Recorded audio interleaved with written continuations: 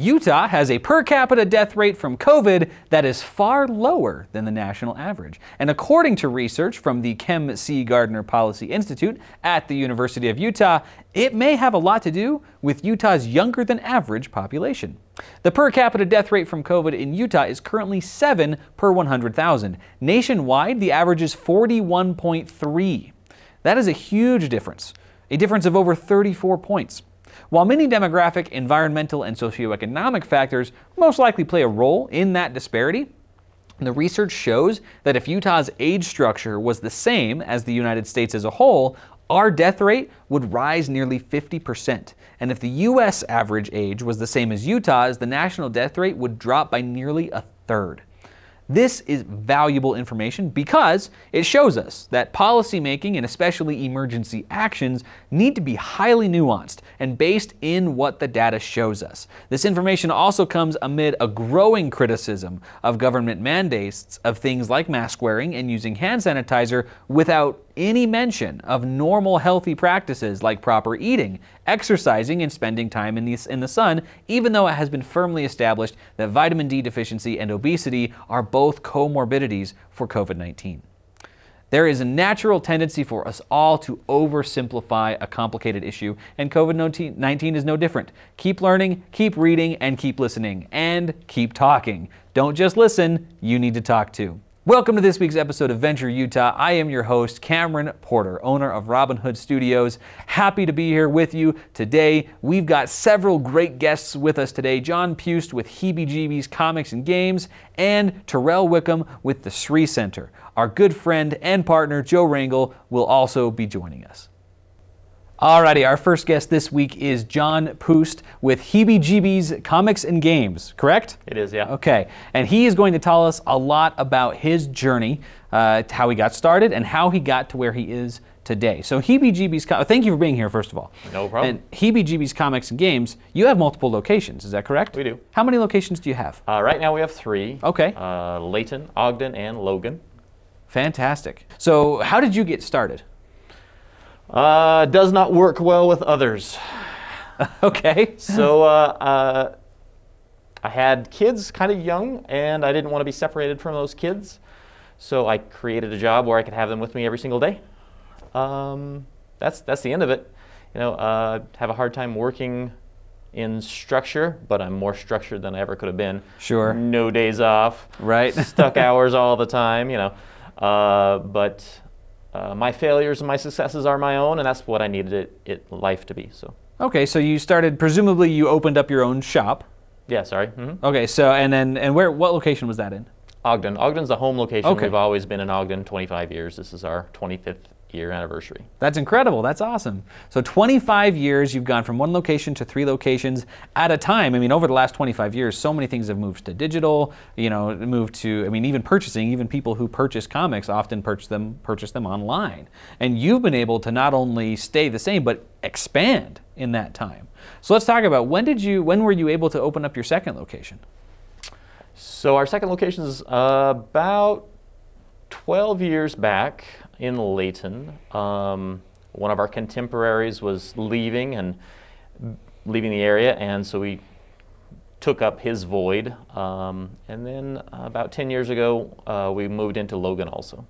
Okay, so nice, very nice. And what do you feel like was some of the difference makers? I mean, I guess some of your secrets to success here. How were you able to expand at that time?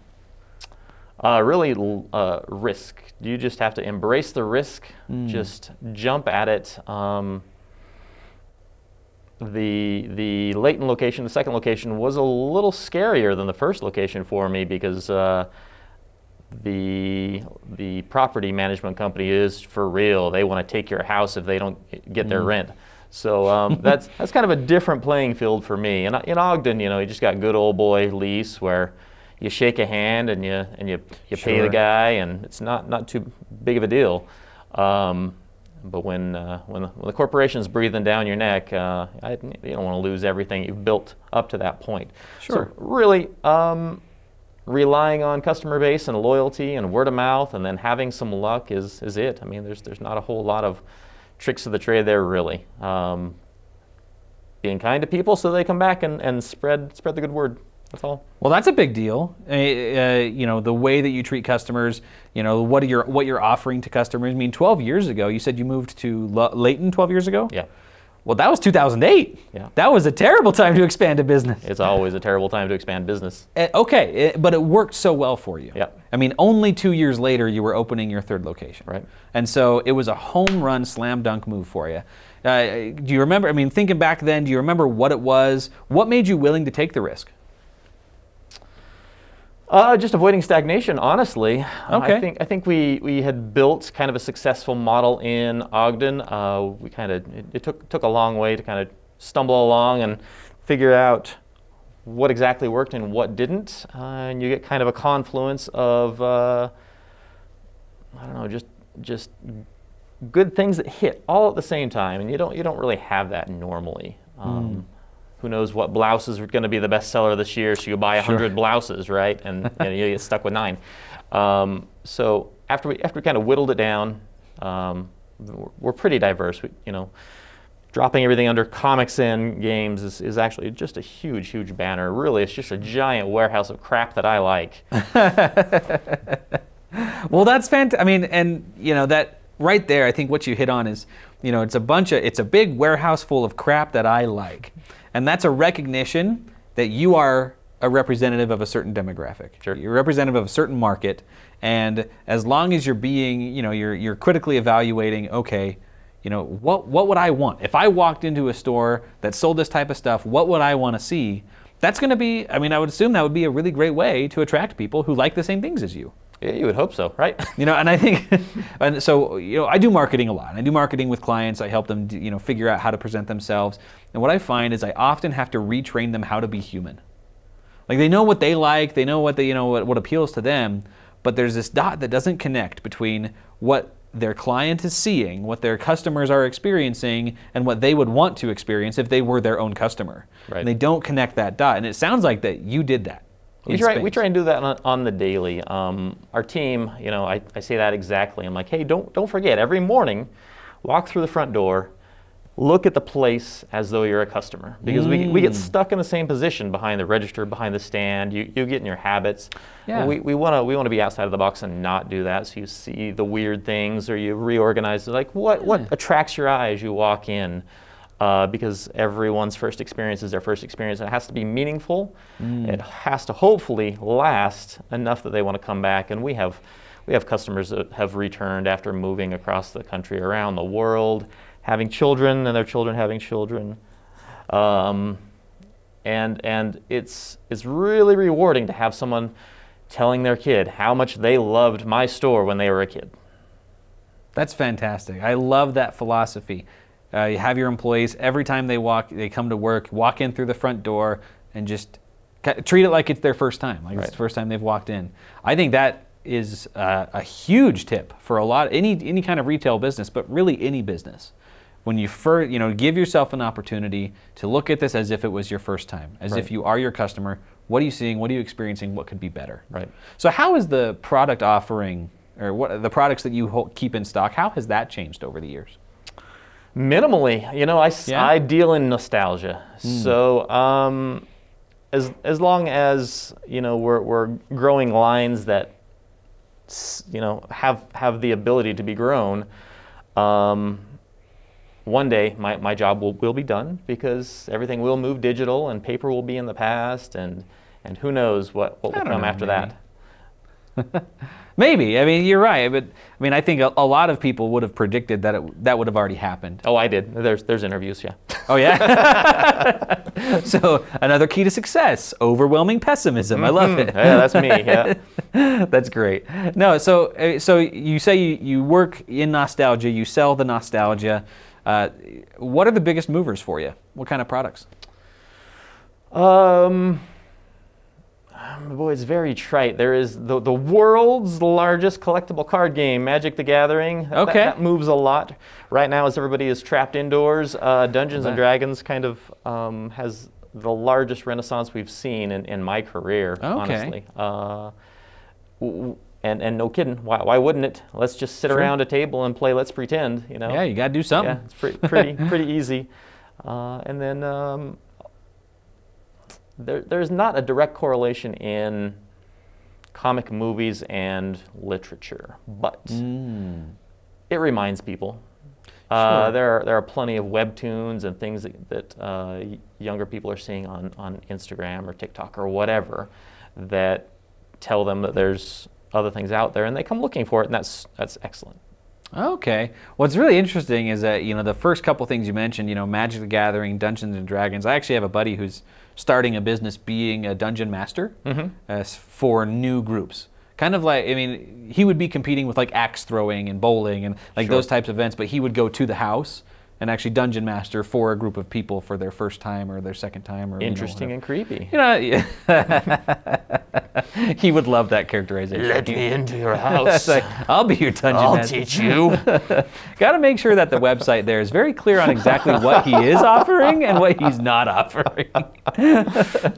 oh, that's great. But uh, you know, those two things, those are recent things. Those aren't so much like the old, you know, the old Super Nintendo or regular Nintendo or the Atari or anything like that. oh, so much older. Yeah. Dungeons and Dragons started in 1973. Well, but it's a modern phenomenon. Yeah. I mean, it's it's it's as much modern as it is classic. Sure. You know, whereas you know, so would you say that nostalgia is still, even though Dungeons and Dragons and Magic are, like I said, modern, they're still they still have active development going on. Would you say that the primary movers of that is still nostalgia?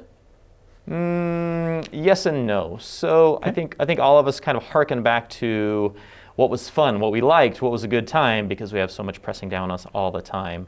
Um, and while while we have a cell phone in our pocket and it's easy to be distracted, that's not necessarily fun.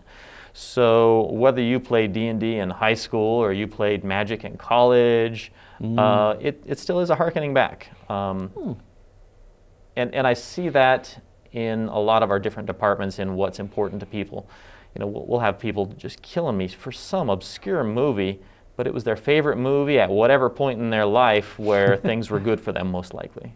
Gotcha. That's really interesting. And now that you mentioned that, you know, I I do play video games, but the games that I play are the games that I played when I was a kid. and like I don't really play them for nostalgia, but I enjoy I play them because I enjoy them. Right. But I think I enjoy them because I enjoyed them as a child. Right. You know, and, and that's uh, how I grew into those. So, what are the addresses? What's your address for your Ogden location? Uh, it's 2262 Washington. It's right downtown. Oh, nice.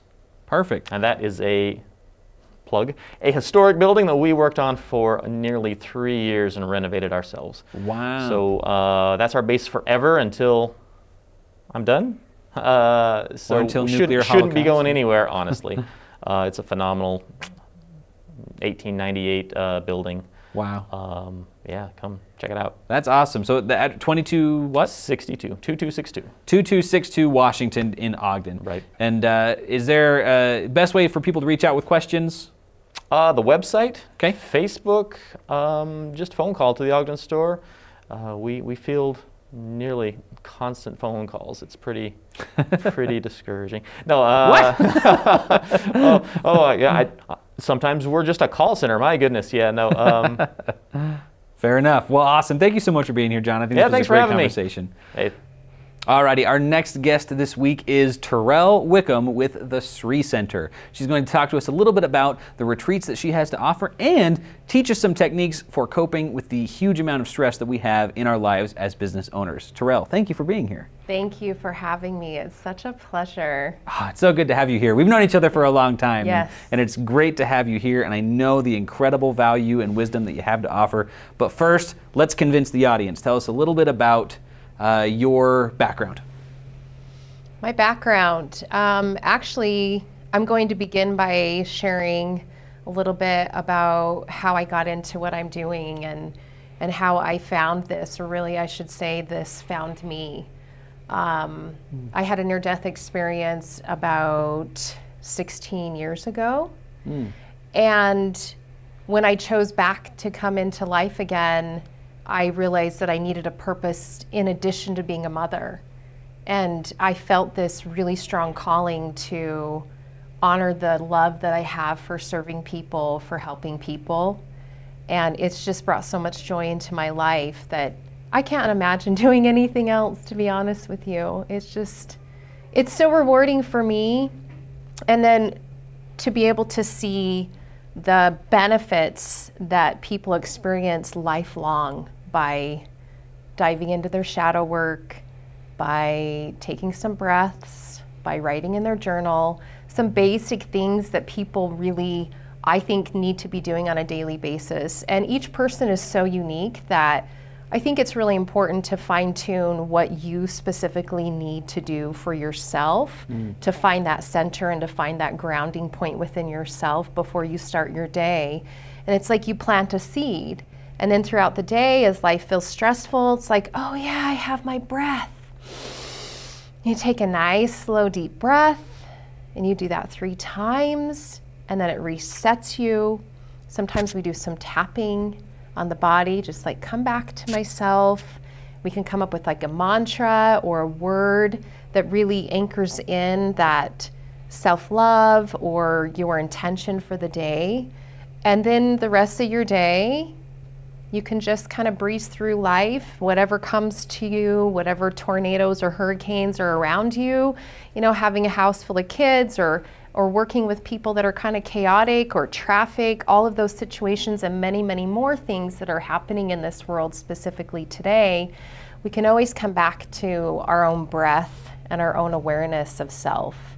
And I think that's really powerful. So mm. I have found a lot of benefit doing that for myself. And so I like to share that with people and help them fine tune their own mm. personal, like 10 minute practice in the mornings. Absolutely. And I think yeah. uh, just touching on a couple of things that you pointed out, you know, to, pointed out, you know, centering yourself before the day begins. And, yes. Uh, and there's certain, there's very little simple things that you can do mm-hmm. to recenter yourself.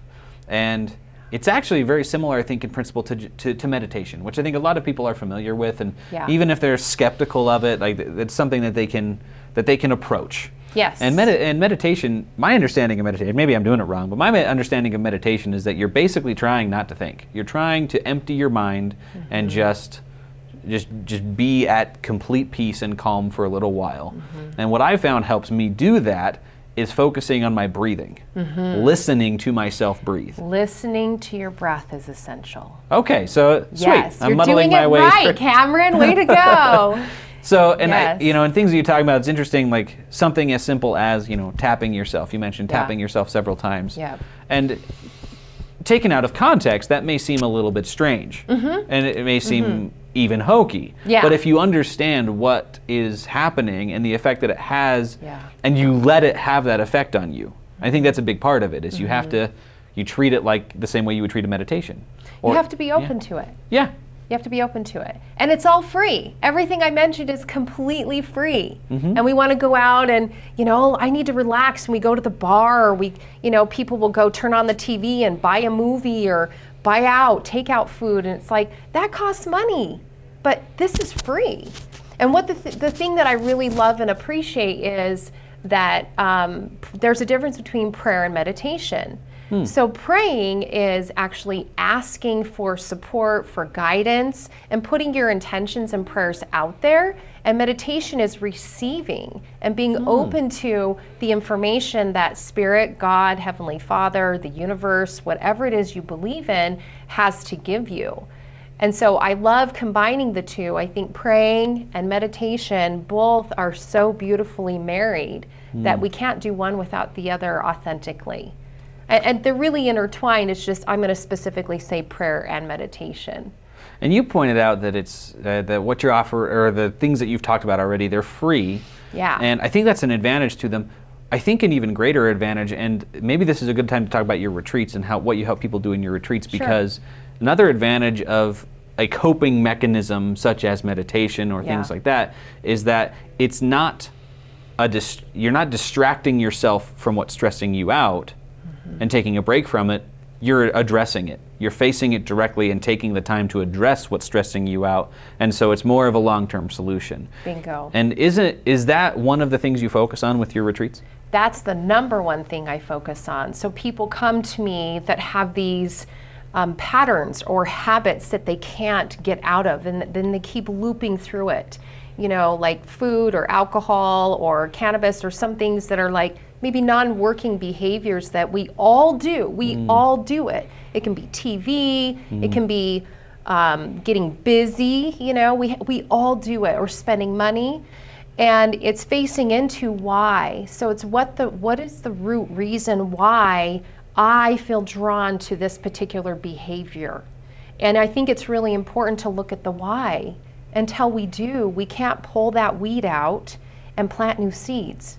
There's no way we can do that. So my job is to support them to see what patterns, I mean, they come ready to know the, the things that they want to shift. And then mm-hmm. there's a lot of surprises along the way. Like, I want to stop smoking. Okay, so let's talk about why you're smoking. Well, I'm anxious. And there's a lot of reasons. They say there's nine reasons why we do some kind of behavior that isn't working for us. It's a sabotaging behavior. And it just takes us away from who we are as a core being, who God created us to be. It takes us away from that. So it's really important to look at why we're doing it and, and try to um, isolate and identify all of the reasons why we're drawn to doing that behavior.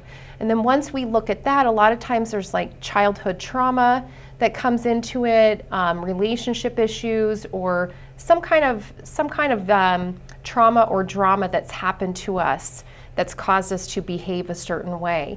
And so, what do we do? We want to come back to that God self, that that um, self that's whole and complete and balanced place, and then come up with behaviors that we can do instead of smoking or drinking or whatever it is.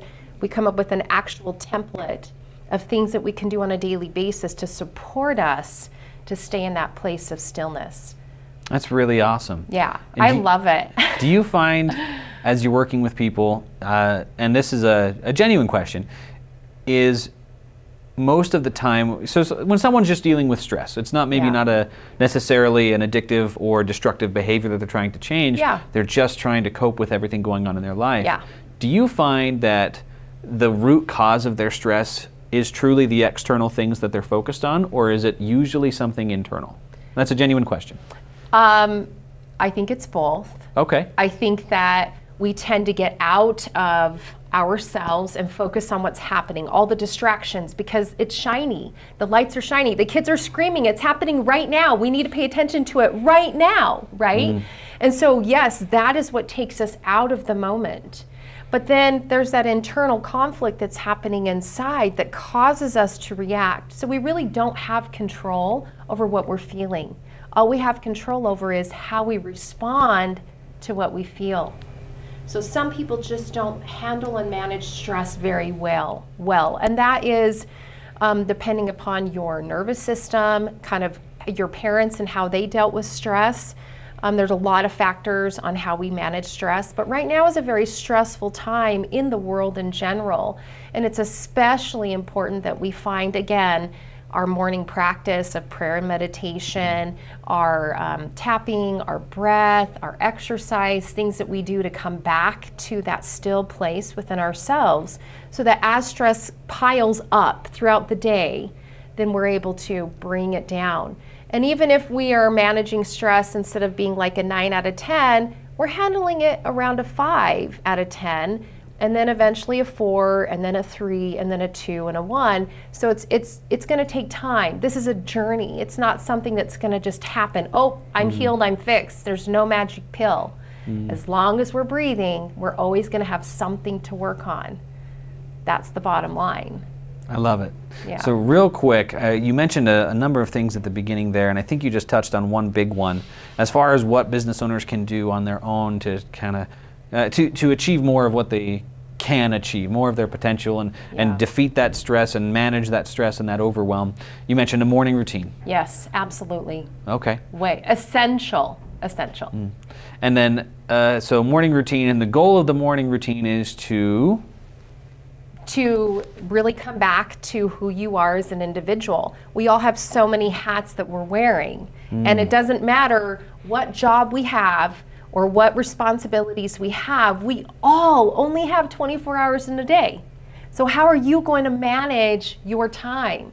And we can be house broke, car broke, or overwork ourselves, but when it comes to the end of the day, we're the ones that look ourselves in the mirror we're the ones that come back to the higher power and say, How did I do today being of service to other people? And that is another way to get out of being selfish, is serving, right? Mm-hmm. Who can I help today? That is a great way of staying present and connected to our peace. I love so, it. So sorry, I keep throwing things out there. I No, just that's I great. love this topic. So, so yeah, as far as owning Yeah. a business or or um, yeah, especially owning a business because there's so much responsibility involved in that. It's really important to come back to the why. Why am I doing this, and how is it connected to? I call it my dharmic path or um, my God-given gifts, my talents, what what I've been blessed to um, share with the world.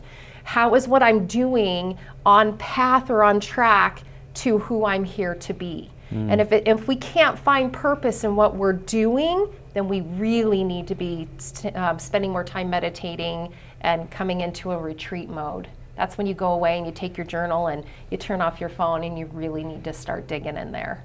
I love it. So, Unfortunately, that's all the time we've got today. Okay. Uh, but for people who would like to reach out, maybe learn more about the ret- retreats that you do, Yeah. what's the best way to contact you? I would say email me, terrellsings at gmail.com. Um, Facebook, Terelle Wickham, or Okay. the Sri Center on Facebook. Perfect. That's probably one of the best ways too. Thank you so much for Okay. being here. Thank you for allowing me to be here. No problem. Alrighty, our last guest this week is Joe Rangel, longtime friend and partner of the show with 2 Evolve Coaching and Consulting. Joe, thank you for being here. Thanks for having me. So today, uh, what we wanted to talk about, uh, you mentioned, was uh, the process of getting more aware of your thoughts and how annoying that can actually be. Is that correct? It is, and yes, and it can be. um, you know, part, a big part of what we teach is the understanding of the thought processes that drive behavior patterns. Most of us know the things that we do, you know, the things that get in the way. A lot of us don't know why they get in the way, like why we do the things we do. Hmm. Okay. So what we do, as you know, is help people understand their subconscious thought processes so that they can learn to shift those into balance and then live a better life. But hmm. that process of of awareness can be quite annoying. I saw a graph a long time ago. I think I think I saw it in something that Covey did that says that we go from unconscious incompetence to conscious incompetence to conscious competence to unconscious competence. Oh, okay. And unconscious competence would be developing those new habits that lead you along a better way. I'm not so sure we ever completely get to, you know, unconscious competence. I think we're probably in high levels of conscious competency where we're choosing better choices, hopefully. But there's that vacillation stage where you're vacillating between conscious incompetence and conscious competence that can be quite annoying. Hmm. And a lot of times we'll make choices and realize in retrospect that we could have maybe made a better choice. That's the that's the annoying part. And I think it, it, what I'm getting, at least if I'm taking your meaning correctly, I'm kind of applying it to myself and thinking about what I've personally experienced. And it can be frustrating and discouraging to really have your eyes opened to how imperfect you are. You know what I mean? Yeah. it's like you you, ha- you kind of go through life with this sense of hey you know like I'm not perfect but I do a pretty good job I do do my best right and, and then you actually have your eyes open as you're as you're consciously evaluating the decisions you make and the and why you make those decisions and you start recognizing in yourself all of the things you hate about other people Kind of the things that you kind of maybe don't like about you. Maybe. yeah and then and you see you, you see all that and yeah it can be discouraging and annoying is a is a good way to put it because it's not so drastic and it seems you know you can conquer something that's annoying Right. it's it's harder to conquer something that's devastating or something like that so i think calling it annoying is putting it in its place but is that what you're talking about that phenomenon Yeah, and I, you know, it's funny. I, I, I have a belief that we are perfect, but not in the earthly sense of perfect. You know, we try to constantly measure up against other things, and in that realm, I, I believe we're constantly going to be imperfect. I think Einstein said that the struggle for perfection yields excellence. We can be the most excellent people we can be, but we're not going to be perfect in this, this gauge of perfection that exists in the world. And yet, we're already perfect masterpieces of creation, each one of us. If we can kind of own that, I came out with a shirt, a T-shirt a long time ago that said, "I'm perfectly perfect in my imperfection," because the fact is, is we do have a process of perfection through life and experiences, and sometimes bad choices and things that don't go right, and so yeah, yeah, and it's and understanding why you do what you do can be really important. But it also, again, on another side of it, can be frustrating because now When you understand you have control of your thoughts, right? And you take personal responsibility for your life, then you start to go, well, I can't say they made me mad anymore. I made me mad based on a perception of what they said or did. You can't say somebody hurt your feelings. I allowed my feelings to get hurt based on my perception of what they said or what they did. Those types of things, and we start to look at it and we go, oh, man, it sucks to be personally responsible for everything in my life, but it's also hugely liberating. Because mm. once you start to realize that everything's your choice, nothing can kind of suck you down that rabbit hole unless you let it. Yeah. That I'm not sure why, but that makes me think of the difference between you know, someone the, the old saying, sticks and sticks and stones may break, may break my bones, but words will never hurt me. And I think uh, there's the, the, the, truth to that is, you know, you don't really have a choice as to how your body's going to respond if you get punched in the face. Like, let's be honest. I mean, sure, maybe if you've trained yourself, you have the reflexes, you see it coming, you can react differently. But point being, if that fist makes contact with your face at a certain velocity, your body will react in a specific way because that's a physical occurrence. But when someone says something to you or does something that makes you feel a certain way or causes you to want to make yourself feel a certain way, you have the choice of how to respond to it. And you can train yourself to have to, to be able to have more control over that choice where you don't get hijacked early on and you can make the choice. So that's what that made me think of. I don't know if that's the direction you were going with it. Well, it um, could be, but so let me ask you this. What would you do if somebody punched you in the face? What would your body do? Uh, my cheek would most likely bruise. My jaw might break, depending on where they hit. Is, is but you do have a choice if you're going to hit them back or not. True. I mean, yeah, yeah. Response right. there, as far as you know, what you do in response, response you, de- definitely have reaction, choices there. Yeah. Right. So I, I, was not consciously aware in high school, um, but I had my own agenda, and I remember one time I had just been in trouble. I just got suspended for getting in a fight. Imagine that. and uh, and this and then th- uh, this girl wanted to go out with me, and I said I'd go to a concert with her. It was I even remember it was the Rush concert since we were just talking about Neil Peart recently. Um, and then he got mad. He said, "You can't take my girlfriend to this concert." And I was like, "She wants to go." And I was in band, but I was kind of a kind of a bad boy band bird, and this guy was a hood. you know, and he came out and he picked a fight in front of the band uh, building. And I never forget it because I practiced restraint, which I usually did not during those mm. days. But I had just got back in school. And he goes, Well, you're going to fight me. And I'm like, No, I'm not going to fight you. I just got back in school. And he, he punched me. He did. He punched me in the face, in the cheek. And I and he goes, "Come on, you're going to fight me." And I just sidestepped him. He went to kick me, and I stepped back, and I was holding my trumpet in my hand. It was like, um, and then he ended up coming and trying to. I think he was trying to tackle me, and I ended up grabbing him a headlock and throwing him on the ground. And then I I walked in the building and let it go. That's the most vivid remember remembrance I have in my life of practicing restraint. But but it wasn't to not get in a fight per se. It was to not get in a fight so I wouldn't get suspended again and get in trouble.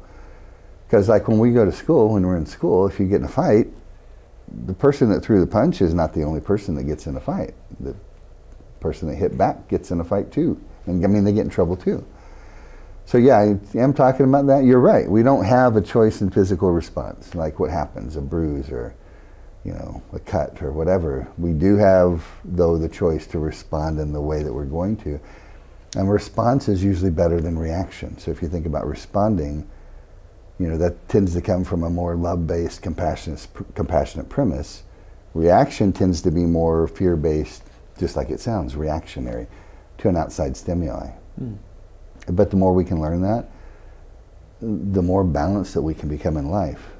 Although I will tell you, as you're learning it, it, can, it is. It's very frustrating. And even though I practice this stuff all the time, every day, I have moments where, you know, I wake up on the wrong side of the bed and go, gosh, what's going on? You know, what's making me feel just grumpy, for lack of a better word. And that happened to me just this last week. I just celebrated, not celebrated, I celebrated a five year anniversary of my son getting treatment I don't know if you saw the post or not, but Yeah, I did. five years ago on August 8th, you know, he was the best he could have ever been. He had just come out of a treatment facility. He was happy and bright and healthy. And, and then six months to the day, he died. And mm. so I found myself feeling a little, I think, apprehensive at that, that day, August 8th, which was the six months since he had passed away on February 8th. And it took me a little while to realize what was bugging me. You know, why I was just in this funk.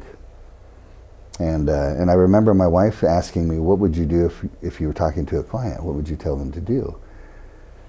And usually when somebody's in a bad space, the best thing that you can do to help yourself is to get up and go help someone else. Because a lot of times in those moments, we can't help ourselves. We can't, we're like, Bleh, I just want to read a book and stay grumpy and not deal with anybody. But if we can reach out to other people and help them, it can start a process of helping yourself. And I did that, and within, you know, so luckily within an hour or so, it was able to shift that. Versus years ago, I might have been stuck there for weeks, months. So Wow. I think, yeah, it comes down to your ability to control how you're going to respond.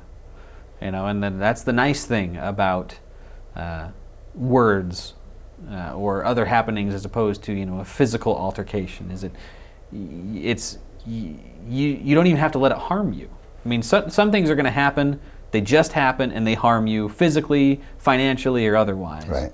But you know, if it's if it's just an interpersonal issue, you can choose. You have control over whether it harms you at all, Right. and control over whether or over how you respond to it. I think that's that's my takeaway from the conversation. I don't know if that's what you were going for. No, it is. It's and understanding that that can be difficult at times. You know, Th- there might be times that you logically know that better choice, and still make the emotional reactionary choice, and go, ah, I know better than that. You know, I could have done something different, but that's life, right? The, the, That's life. The process of conscious, continued evolution, which is what I. That's what I work on teaching people all the time, every day. So for people who want to get in touch with you, just a quick reminder: what's the best way to reach out? www.2evolvecoaching.com. That's the number two evolvecoaching.com. Or they can call out. I'm give my cell number easily, so it's 801-850-2974. You can call or text. Um, yeah, you can actually anybody can set an appointment with me or Scott, my other coach, on our website. They can take our free assessment and begin to start changing their life if they want to. Awesome. Thank you so much for being here, Joe. Thanks, Cameron. Appreciate you. Yeah, thank you. And that is it for this week's episode of Venture Utah. Thank you for joining us, and we'll catch you next week.